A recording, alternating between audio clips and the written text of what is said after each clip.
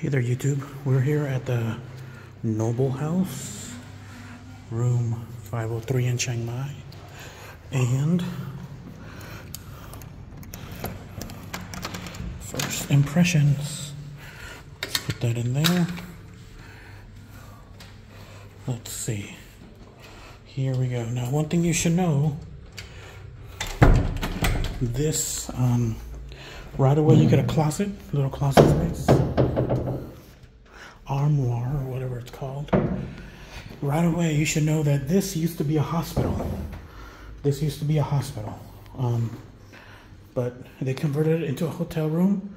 You got your fan, you got your air conditioning, little wall design, lamps, restrooms. We'll get into that in a little bit.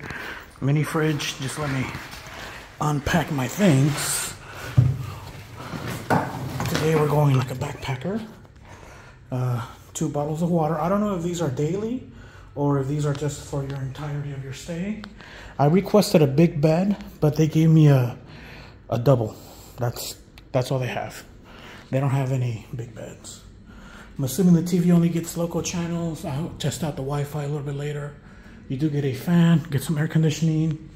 Um, you do get a little patio, um, a balcony, and you can look out you can look out. The room here is 500 baht per night. 500 baht per night. You're near the Saturday night market.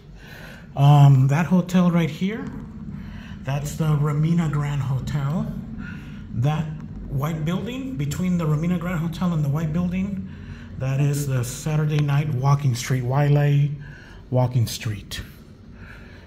Um, but yeah, you get two towels. Uh, I wonder if this door closes all the way. No, the door does not close all the way. Unfortunately, you can see a big gap of light. That's a huge gap right there.